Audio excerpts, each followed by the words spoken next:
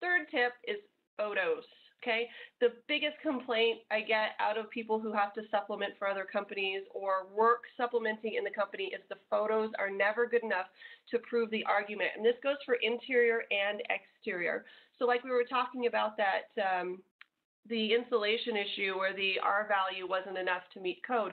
Well, there is a way to take a picture to prove what was existing right before you pull it all down and tell the adjuster, well, that's what was there, right? You need to document every step of the way what was existing and why it should be paid for, whether it's code or um, directly damaged by hail. So let's get back to the kind of the roofing aspect of things here. So the one of the main arguments adjusters give is there's a hail damaged roof, but the accessories like the flashings where this chimney meets the roof here, this flashing here, they'll say, well, that wasn't damaged by hail, therefore we don't have to pay for it.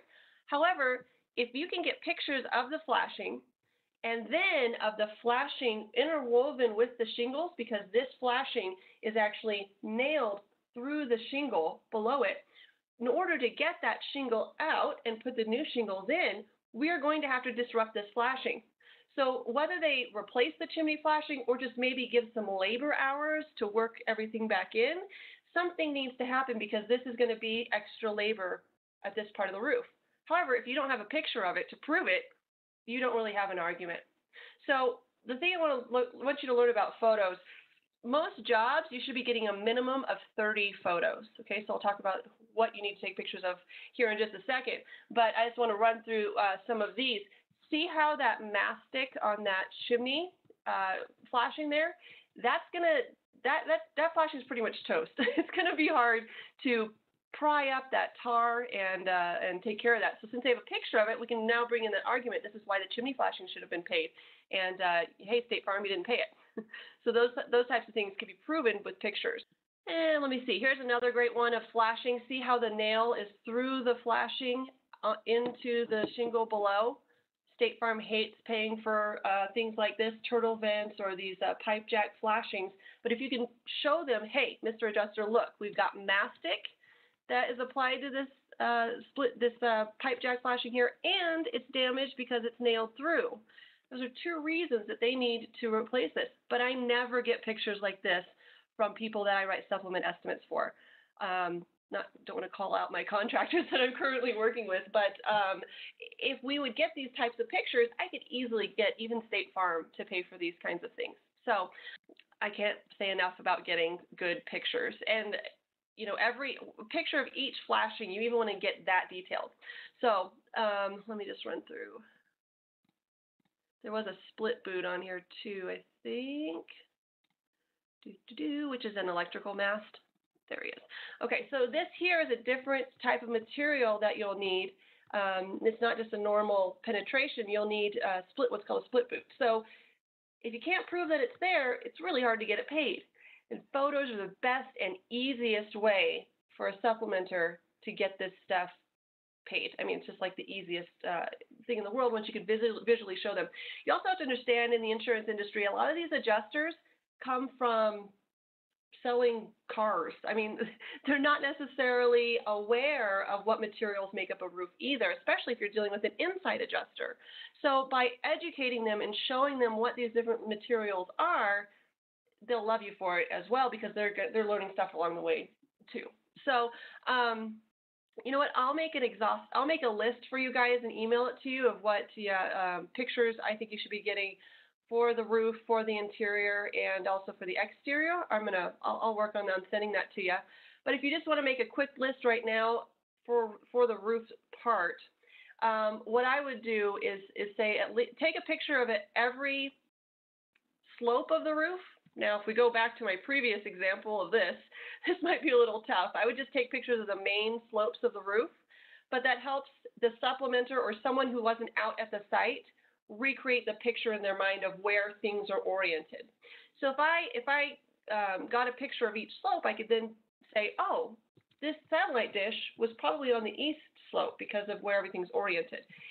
So th that's that's number one. You want to get a good overview of the roof.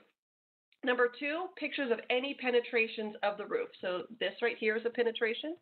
The satellite dish is a penetration. That split boot was a penetration. So it's nice just to wrap that all together. And any roof penetrations, flashing, you want to get a picture of that, okay? Third, you want to get a picture of any of the other flashings like step flashing, chimney flashing, or L flashing. So if that's Greek to you, you're going to have to go and kind of educate yourselves on what those different um, materials are. Step flashing runs up the roof right here. L flashing would protect where the shingles meet the siding here. So where shingles meet siding and the roof is going upward, there's step flashing, and then uh, there's L flashing. And that also is nailed through the shingle. So the flashing itself would need to be manipulated. Okay, so pictures tell a thousand words. I also would request that the salesperson, whoever is going to take these pictures, get a picture of each elevation because I had a USAA claim where I could see from what the guy had sent me, the five pictures he sent me, that the roof was two story. But because he didn't get off the roof and take a picture of the front and the back elevation where those two story dormers were located, that the roof was high, I couldn't prove that it was two story, so therefore I couldn't get the two story roof charge paid. Okay, so there's many reasons, but you should be getting a picture of at least each side of the elevation. So again, people, the the inside adjuster also will thank you for it because they haven't been out to the property. Okay, so there's many reasons why you should do this, and again, I'll get you an exhaustive list. But uh, that's that's my tip number three. Um, I've been able to get so many more line items paid because I could illustrate with them, look, this flashing is damaged because it's nailed through to the shingle. And they're like, no problem, we'll add that. So make your life easier. Um, start to implement, you know, good good photo policies uh, in your office, and and it really does help at the end of the day getting uh, everything paid. Let's go back into Xactimate here. And we're going to find the Images window. So Images is in the top left corner of your screen. It looks like a small stack of photos. And if you hover your cursor over it, Images will show up. Images used to be located at the top right corner of your screen, but in the new version of 28, they've moved it over to this little icon. So I'm going to ping it here. Hopefully you'll be able to find that on your screen. I'm going to left click on images and the images window will pop up and it will be blank. So we need to load images here before we can work on them. So I'm going to click on Load Images here in the Images screen. Navigate out to my desktop and get into that folder that I've created. Xactimate Practice is the folder, and then I'm going to click on the picture to highlight it and left click on Open. Now if you had like 20 files in here, you could just select all of them at once. So it'll allow you to select multiple files at the same time in order to add them. So I'm going to left click on open and that's going to bring it into my images window and I can rename this, put front elevation. So there's an image name located down here towards the bottom of the screen.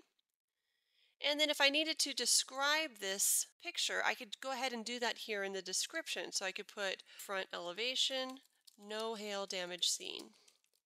And go ahead and do that on your screen as well. Load the picture give it a name, and then put a description here so you can see where this shows up when we print our report. Okay, so to exit this, I do not want you to use the big red X. I'm terrified of the big red X because of how many times I've lost information. So I'm going to use the escape key on my keyboard. So I'm just going to tap escape. That way I know it's just closing that window and nothing funky is going to happen with me accidentally closing the estimate for any reason.